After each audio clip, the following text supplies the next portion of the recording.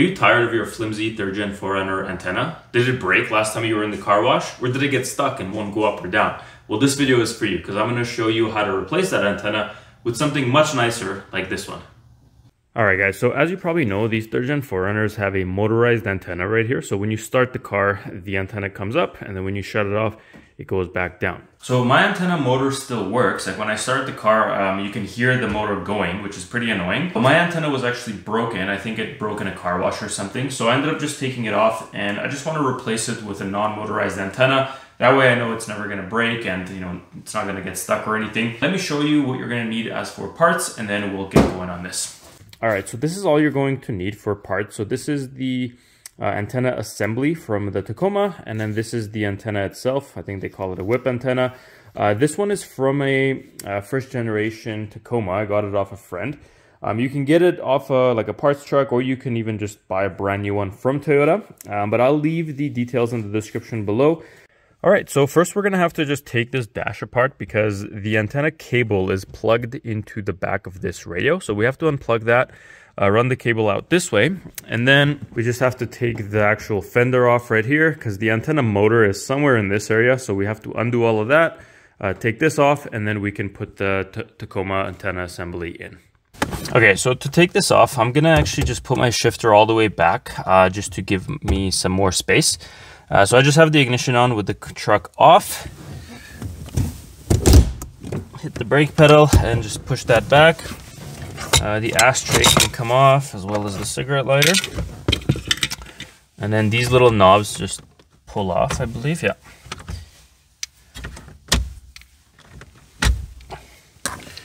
Okay, and then I'm pretty sure this thing just pulls right off. You can kind of just start gently on one end.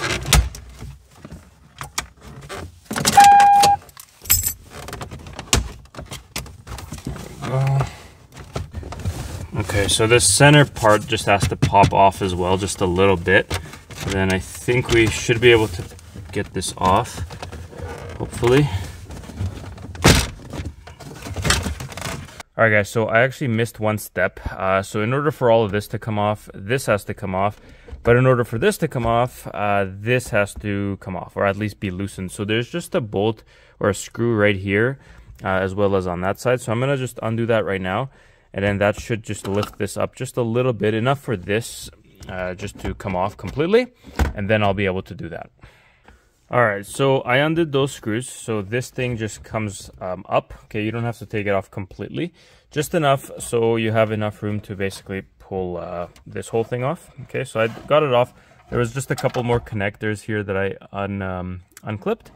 And this whole thing just pops off. Okay. So now uh, all we have here is um, for the radio just a couple bolts. Here's one two three and four. And then this whole thing will slide out and then we can undo the antenna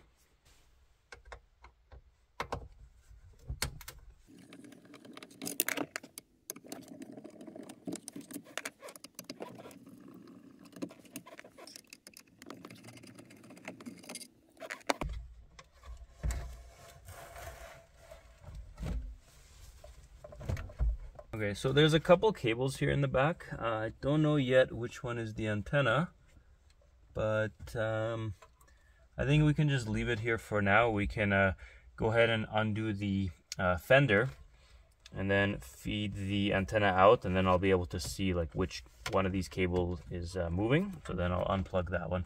I'll leave it like this for now though. All right, so to take this fender off, um, in here, excuse the dirty engine bay by the way, I've been meaning to clean this. I'll get to it one day. But anyway, for the fender, there's a few 10 mil bolts here. So there's one here, uh, here, there's one up there. And then I think there's one in here as well. Uh, right in there. And uh, and then I'm not sure, there might be one in the back of the headlight here. We'll see. I'll start with these ones and then we'll go from there.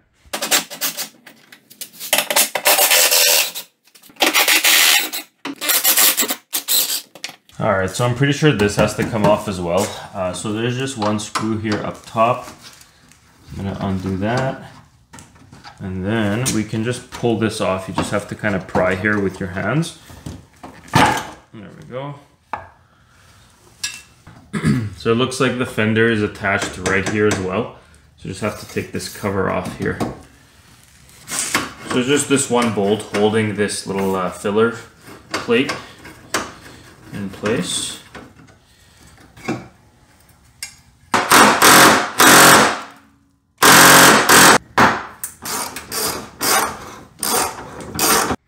All right, guys, so I got all the bolts off. There was one uh, little bolt just under there holding the fender, a couple clips just in the, uh, like in the liner there.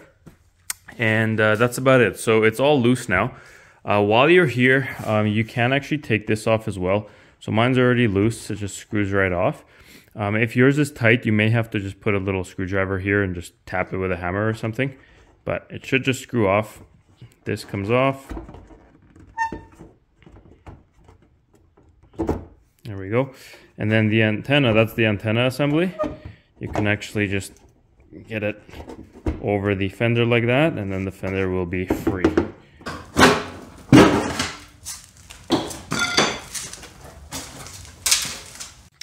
All right, so here's what the antenna assembly looks like right here. Uh, so there's just a connector here that we can disconnect. And then right over there, it's kind of hard to see. Um, right there. That bolt has to come off and that's that's all that's holding this whole assembly. And then this cable right here is actually the antenna cable that I was looking for inside. So uh, once I get that bolt undone, I can actually just pull this a little bit and then that'll tell me which one is the antenna so I can just get it all out. All right guys, so there's the bolt. I took it off. So this whole assembly is free now. So now uh, I'm just gonna pull on this just a little bit uh, just to get it loose and then we'll go back inside and um, see where where this is and then just pull it all out. All right, so back in here, um, I'm gonna take this off. This thing is just a couple clips right here and here. You literally just push and pull that side and then this thing will drop.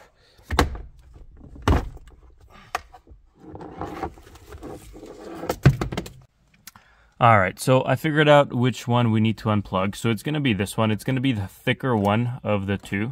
Okay, so just unplug it. And then uh, I'm just gonna basically see like where this goes and just kind of feed it out. And then one little trick that I'm gonna show you that's gonna make your life much, much easier.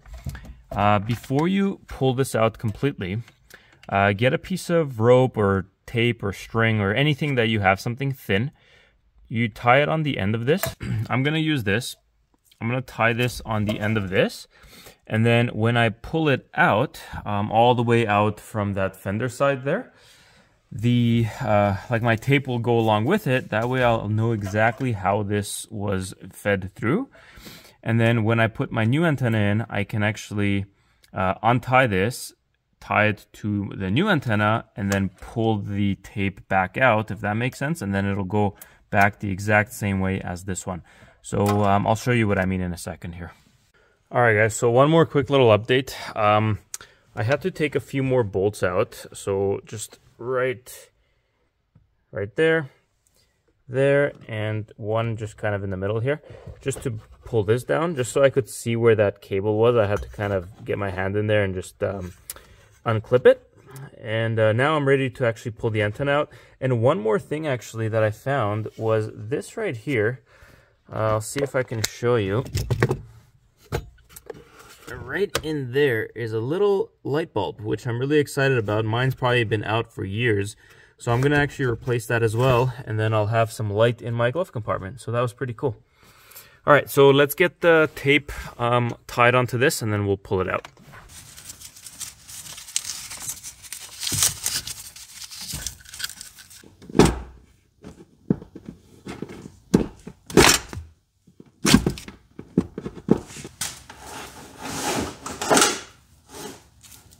There we go.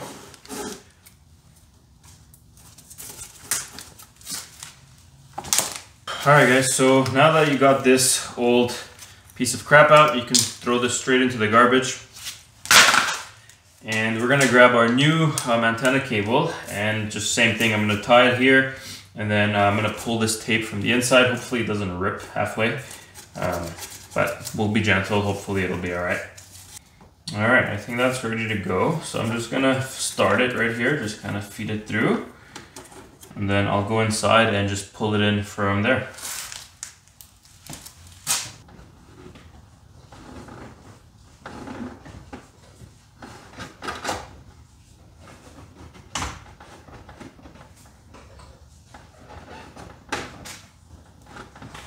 Alright guys, so that's all the way through. So I'm just going to use that same bolt that was holding the um, other antenna in place. Uh, use that to tighten this in place. Just going to make it hand tight for now. Okay, that's alright for right now. And then uh, we'll go inside and just plug everything back in. Alright guys, so as you can see, there's the other end of my um, antenna with the tape. It worked really well, uh, just push uh, pulling this through. It would have been pretty hard without this, to be honest. Um, but yeah, now I can get rid of the tape, get this plugged back into my radio, and then just put it all back together, and we're pretty much done. So I'm gonna do this first, and then we'll go over to the fender. All right, so the inside is all back together, looking good. Uh, so we just have the fender here to do, put that back in. Um, I went ahead and tightened that bolt here for the antenna. Uh, so let's just go ahead and put the fender back in.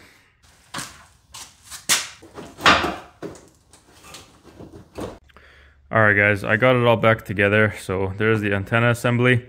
So um, this came with the assembly from the Tacoma. So this is just gonna go right on top, just like that. And then there's a, piece like this. This is the one from my 4Runner actually, which doesn't work on this. Uh, the one that was on the Tacoma, we ended up breaking, so I'm actually missing this. I'm just gonna get that later. I might get it from Toyota or something, we will see. But this is okay for now. The whip antenna can just go right in there and it just threads in. Screw that in and that's it. So once I get that uh, silver nut thing in there, it'll look a bit better and it'll be more secure, but this is perfectly fine as is for the time being. I'm really excited to have a radio again. All right, moment of truth. I'm about to start the 4Runner and see if my radio works, so let's check it out.